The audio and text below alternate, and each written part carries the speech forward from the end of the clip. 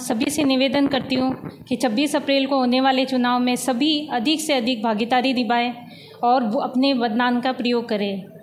इस दिन सुबह सात बजे से शाम को छः बजे तक वोटिंग का टाइम रहेगा और आप सबसे निवेदन है कि आप जो हैप्पी आवर्स है, सात से दस का टाइम, उसमें अधिक से अधिक वोटिंग करें ताकि जो गर्मियों में है, गर्मियों के दिन में जो धूप है, उससे बचाव हो सके।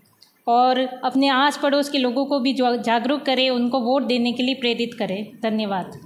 मैं उपखंडाधिकारी धोरीमन्ना धीरेन्द्र सिंह, उपखंड प्रशासन के सभी निवासियों को अपील करना चाहूँगा कि कल 26 अप्रैल को सुबह सात बजे से छः बजे तक जो मतदान होगा, अपने मताधिकार का प्रयोग आवश्यक रूप से करें, ताकि जैसा आप अपने विवेक से अपना उम्मीदवार चुनोगे वैसी सरकार बनेगी जिससे कि आपके विकास के हित में काम हो सके।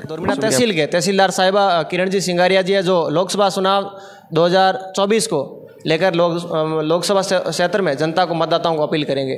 मैडम अपनी मैं तहसीलदार धोरीमन्ना सभी से निवेदन करती हूँ कि 26 अप्रैल को होने वाले चुनाव में सभी अधिक से अधिक भागीदारी निभाएँ और वो अपने मतदान का प्रयोग करें।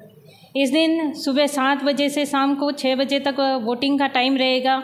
और आप सबसे निवेदन है कि आप जो हैप्पी आवर्स है, सात से दस का टाइम उसमें अधिक से अधिक वोटिंग करें ताकि जो गर्मियों में है, गर्मियों के दिन में जो धूप है, उससे बचाव हो सके। और अपने आस पड़ोस के लोगों को भी जागरूक करें उनको वोट देने के लिए प्रेरित करें। मेरे साथ में दोरमीना पंचायत समिति के बीडीओ साहब है बबरा राम जी कालवी साहब जो लोकसभा क्षेत्र बाड़मेर जैसलमेर के मतदाताओं को जागरूकता अभियान के तहत आपको सभी को अपील करेंगे मतदाता के लिए। मैं बमरा राम कालवी विकास अधिकारी पंचायत समिति दोरमीना। विधानसभा क्षेत्र गुड़ा माने के मतदाताओं से अपील करता हूँ कि अधिक से अधिक इस विधानसभा क्षेत्र में मत मत देकर अपनी विशाल कायम करें। मतदान का समय सुबह सात से शाम छः बजे तक छः बजे तक है। इसमें गर्मी की अधिकता को देखते हुए सुबह सुबह जल्दी ठंड के मौसम में अधिक से अधिक मतदान करें। और मतदान मतदान केंद्रों पर पानी चाय की व्यवस्था सारी कर रखी है, पंचायत समिति दोनों मीना के।